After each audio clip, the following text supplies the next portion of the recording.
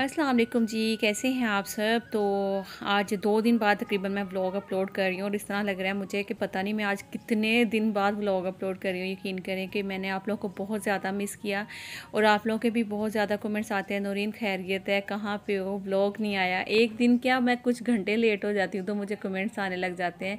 अभी तक आपका व्लॉग नहीं आया, अभी तक आपका व्लॉग नहीं आया। हाँ बहुत ज़्यादा व्यूज़ तो नहीं है, लेकिन जो है अल्लाह का शुक्र है कि वो बहुत ज़्यादा पसंद करते हैं, प्यार करते करते हैं और मेरे डेली व्लॉग्स का जो है वो इंतज़ार भी कर रहे होते हैं। उसके लिए थैंक यू सो मच बल्कि एक कमेंट है जिनका मैं नाम लूँगी, वो तो डेली कमेंट करती हैं कि नूरीन अभी तक व्लॉग नहीं आया। कहाँ है मैं उनका नाम भी लूँगी। अच्छा इसके अलावा ना तो दो दिन मैं कहाँ थी, क्यों व्लॉग नहीं डाला मैंने, ये वो ज़ाहिर सी बात है, आप मेरी डेली रूटीन देखते हैं, हर चीज़ आपको इंतज़ार हो रहा होता है, क्या हो रहा है, क्या नहीं हो रहा, वो सब चीज़ें चल रही होती हैं। तो आप लोगों ने सोचते हैं कि दो दिन कहाँ थी, खैरियत थी तो सब ठीक था, सब अल्लाह का शुक्र है, खैरियत थी। लेकिन जिसे कहते हैं ना कि मैं खुद थोड़ा सा ना मतलब कि थकता तो नहीं इंसान, लेकिन कभी कभी ना तंग आ जाता है किसी चीज़ से। तो बस मैं भी थोड़ा सा ना तंग आ गई थी, फिर मैंने सोचा कि दो दिन की ब्रेक ले लेती हूँ और थोड़ा सा जो है ना वो खुद को टाइम दे लेती हूँ। खुद को टाइम क्या देना है? थोड़ा सा मैंने सोचा कि रेस्ट कर लूँ, क्योंकि ये भी एक तरह से जॉब और उसी तरह काम करना होता है कि आपको ब्लॉग सारा शूट करना है एडिट करना है अपलोड करना है थंबनेल देना है टाइटल देना है, ये करना है, वो करना है तो उसमें आप बहुत ज़्यादा आपका दिमाग लग रहा होता है और आप लोग थक जाते हैं, यकीन करें। तो खैर दो दिन मैंने रेस्ट किया, उसके बाद तीसरे दिन फिर आपके सामने हो तो अभी सुबह का टाइम ही था। तो व्लॉग मैंने स्टार्ट कर लिया क्योंकि एक ना आदत हो जाती है इंसान को। तो बस उसी तरह मुझे भी आदत हो चुकी हुई थी कि मैंने बस अब व्लॉग अपलोड करना है। आप लोगों के कमेंट्स जब आते हैं न्यू न्यू डेली देखने की आदत होती है तो खैर अच्छा लग रहा होता है कि आप लोग जब कमेंट्स करते हैं और फिर मैं रीड करती हूँ तो बिल्कुल ऐसे लगता है कि जैसे मेरे घर में आप लोग आते हो। और जब नहीं करते हो कमेंट्स और मैं व्लॉग अपलोड नहीं करती हूँ तो इस तरह लगता है कि आज मेरे घर में कोई जैसे आया नहीं है।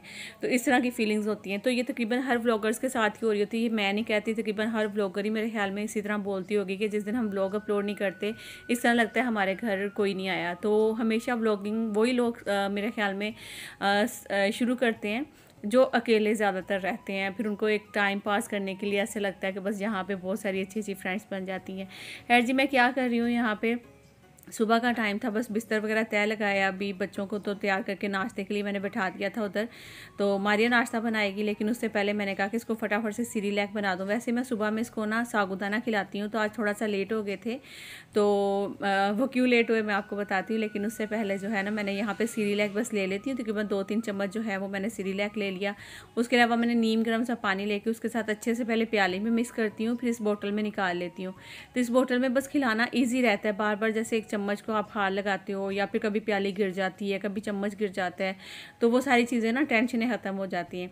तो इससे ना थोड़ा सा मुश्किल नहीं है लेकिन आ, आसान भी इतना नहीं है। लेकिन बच्चे माशाल्लाह से शौक से खा लेते हैं।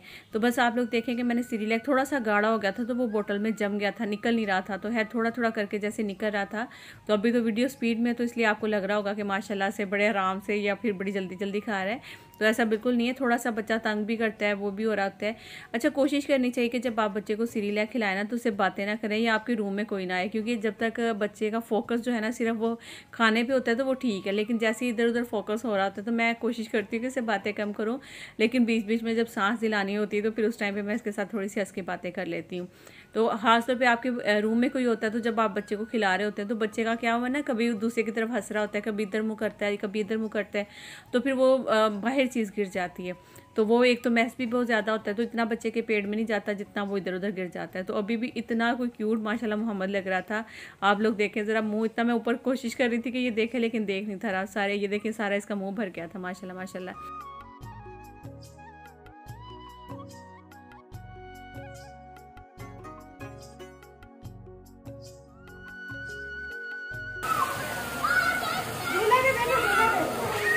नैनी झूले पे बैठो झूले पे ठंडा बहुत, भाई मैं अंदर आ रहा हूँ ठंडी बारिश है।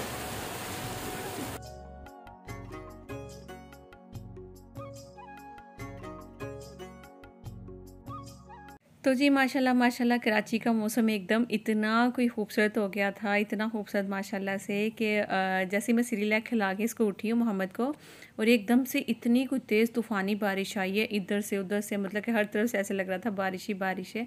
तो तकरीबन कोई दो दिन हो गया इस तरह से रात को बारिश हो जाती है, अचानक से सुबह में हो जाती है। होती थोड़ी देर के लिए, लेकिन माशाल्लाह माशाल्लाह से बड़ी खूबसूरत बारिश हो जाती है, गर्मी तो बढ़ जाती है, लेकिन जब थोड़ी देर के लिए बारिश होती है, वो बहुत ही मज़ा आता है।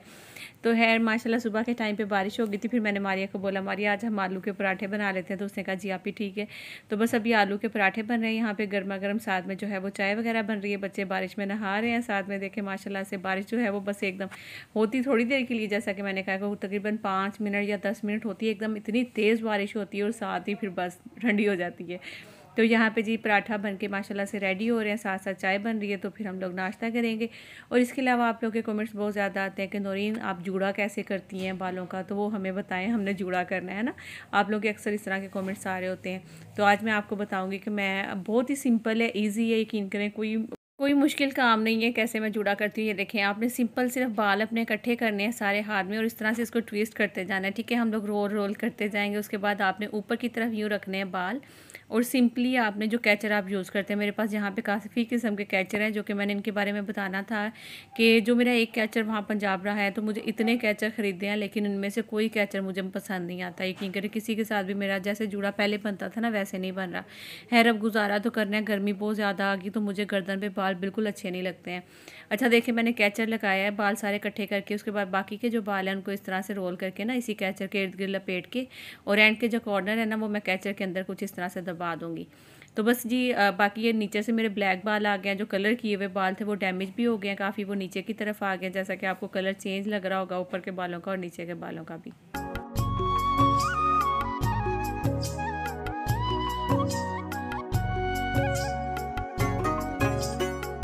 तो फ्रेंड्स अभी ना एक ऐसी गेम खेलने लगी हूँ जो कि मुझे इस तरह लगता है कहीं ना कहीं हम पेरेंट्स की मिस्टेक्स होती हैं कि जो आजकल के बच्चों में और हम, हमारा जो टाइम था, हमारा जो वक्त था, उस बच्चों में बहुत फ़र्क था। हमारी अम्मी छोटे होते हुए हमारे साथ खेलती थी इस तरह से कि कभी बच्चों को चलो आँखों पर पट्टी बाँध के खेलना या फिर वैसे पकड़न पकड़ाई होती थी। गो गो गेम पता नहीं कौन कौन सी बहुत सारी गेम्स होती थी जो हम बचपन में खेला करते थे। मुझे इस तरह से लगता है कि अब हम पेरेंट्स की भी कहीं ना कहीं मिस्टेक्स हैं क्योंकि हम लोग, एक तो स्कूल इस तरह के हो गए हैं कि आपको पता ही कि स्कूल बिल्कुल एक बंद बिल्डिंग में स्कूल होते हैं। उस तरह से ग्राउंड नहीं होते बहुत कम स्कूल होते हैं जिनमें ग्राउंड होते हैं और बाकायदा गेम्स वगैरह भी होती हैं वीकली या मंथली इस तरह से वहाँ पर स्पोर्ट्स डे होते हैं। तो लेकिन जैसे आम अगर मैं आ, मतलब कि मिडिल क्लास फैमिलीज़ की बात करूँ जो इनके स्कूल होते हैं जहाँ ये बच्चे जाते हैं बिल्डिंग्स में स्कूल होते हैं तो वहाँ पे बच्चों को खेलने की कोई इतनी जगह मिलती नहीं। हाँ स्पोर्ट्स डे होते हैं जहाँ पे वो सिर्फ़ जस्ट हल्की फुल्की जो गेम्स होती हैं, वो करवाते हैं क्लास में बिठा कर इस तरह से ना, उसके अलावा गेम्स नहीं होते। तो मुझे इस तरह लगता है कि हम पेरेंट्स को छुट्टी वाले दिन तो बच्चों को टाइम देना चाहिए। चाहे जितनी मर्ज़ी मसरूफियात हो, उस मसरूफियात को एक दिन के लिए, एक दिन के लिए नहीं कर सकते तो कुछ घंटों के लिए करके अपने बच्चों को प्रॉपर टाइम देना चाहिए। उनके साथ कोई ना कोई गेम्स करनी चाहिए, जिससे बच्चे जो हैं, आपके एक तो आपको पता है फिज़िकली एक्टिविटीज़ जो है ना, वो बहुत ज़्यादा ज़रूरी है आजकल के बच्चों के लिए, क्योंकि वो ज़्यादा टाइम मोबाइल टीवी लैपटॉप के आगे स्पेंड करते हैं।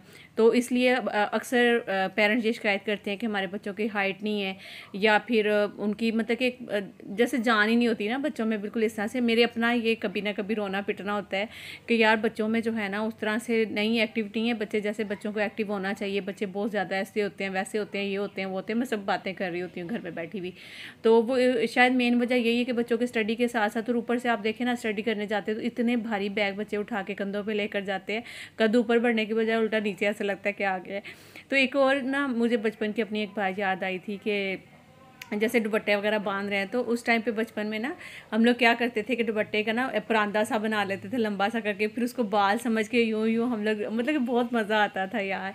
तो आप में से किस किस ने इस तरह किया कि बचपन में अपने सर पे इसी तरह से दुपट्टा बाँध कर और उसको एक बालों वाली फीलिंग्स ला कर और उसको ऐसे घूमना और फिर देखना इधर उधर फिरना, बाकायदा घर में टीचर्स बन जाना।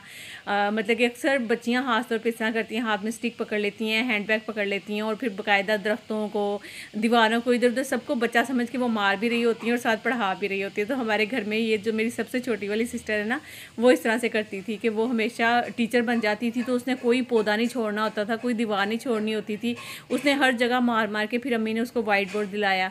उसके अलावा गली के कुछ बच्चों को इकट्ठा करना शुरू कर दिया, आहिस्ता आहिस्ता उसने। फिर उसने वो मतलब कि बच्चों को ना बिठा कर पढ़ाना शुरू कर दिया। तो फिर उसने ये था कि माशाल्लाह पढ़कर फिर वो टीचिंग भी उसने की है। अब उसकी शादी हो गई अलहमदिल्ला माशाल्लाह से अपने घर में वो बहुत ज़्यादा हैप्पी है।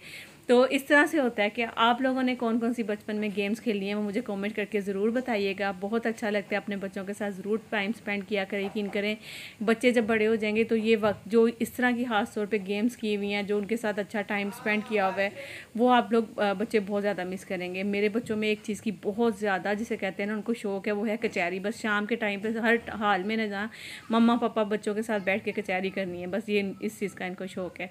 तो अभी जी आसिफ की बारी है, फिर उसके बाद मेरी भी होने वाली है और मारिया की होने वाली है। यार तो बिल्कुल करना नहीं मेरी तो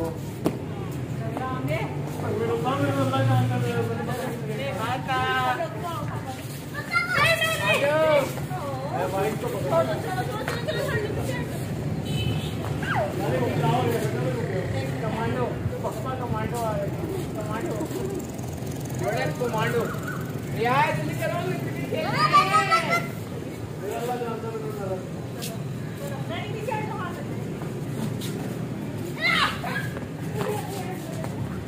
यार एक यार एक नंबर मारो एक नंबर यार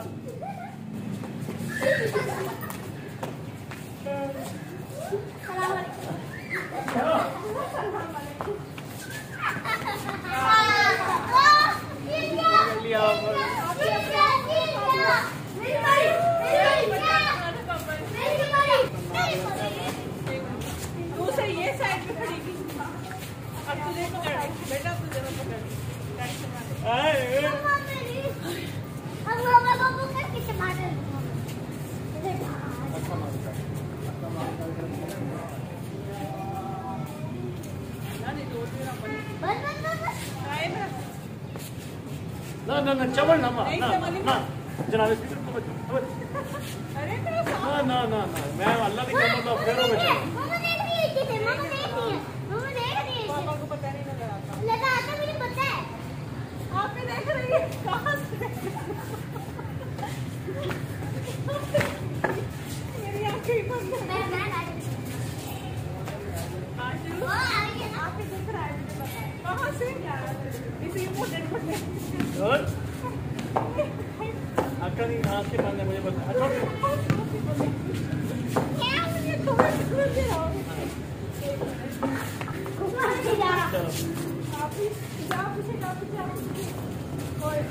चलो आप ही और क्यों आना चाह रहे मामा मुझे मालूम नहीं था नहीं पकड़ा। यार मैं क्या यार? यार नहीं उससे नहीं बस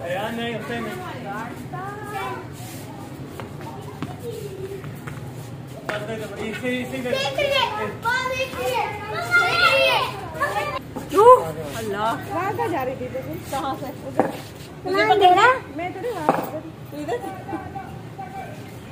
लगा बॉल का है आई बहुत चलो अब भाई क्या हो गया सही है इतना टाइम आई अरे का आलू उधर है गिर जाएगा नीचे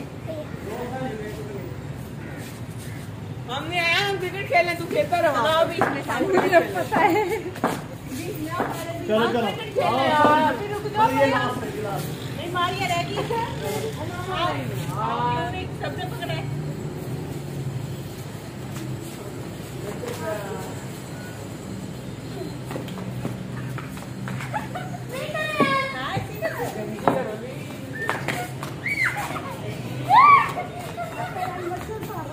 एक्स्ट्रा पावर आ गई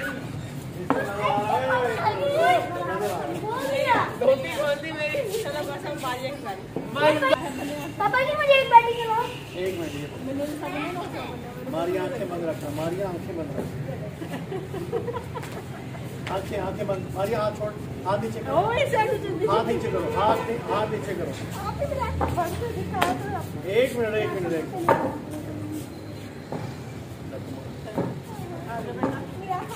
ओ ओ देख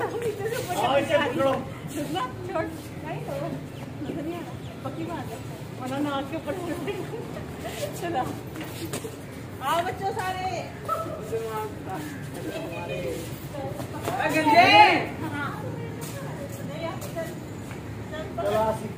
Oh, yan po yan? Patro. Karamate. Karamate. Patro. Apa itu dia pakai apa? Ah, pakai lah. Nalar.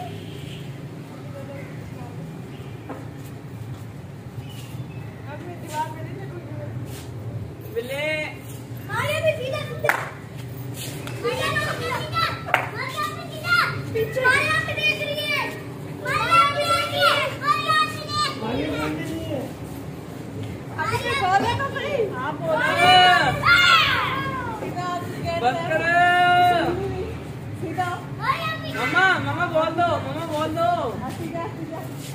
लाइए। पापा आज क्रिकेट खेले। अच्छा बॉल तो दे दो। चलो बस मैंने पकड़ लिया बस आ गए। आजा बेटा आजा। चलो चाय ले लो। तो चले जी अभी हम लोग पीने लगे हैं चाय। यहाँ पे थोड़ी देर किए फन मस्ती। चाय आ गई। भी अच्छी लगी। तो चाय आ गई आप लोग देख सकते हैं मेरे कपड़ों के साथ मैच करता हुआ मेरा कप चलो पानी तो ले लो। मैं पहले चलो निकल जाओ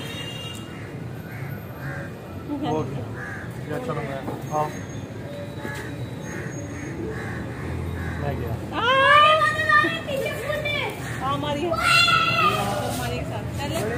यार क्रिकेट ना हम लोग। हाँ। यार जल्दी पकड़ यार। मेरी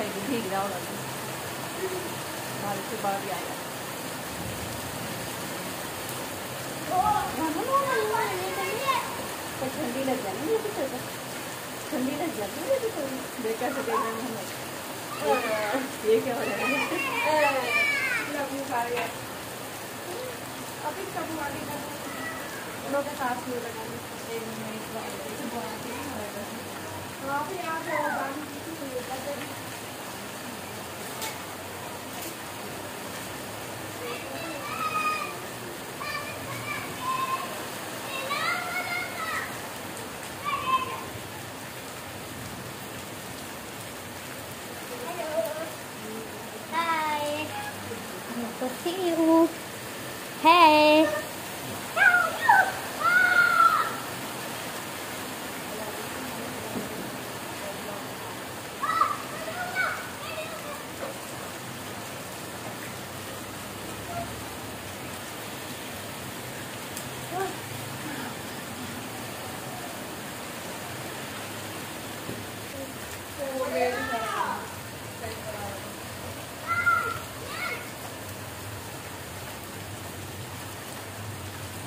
निकालने के बाद और ही देर लगती है ठंडा हो जाता मुँह रात से बड़ी साल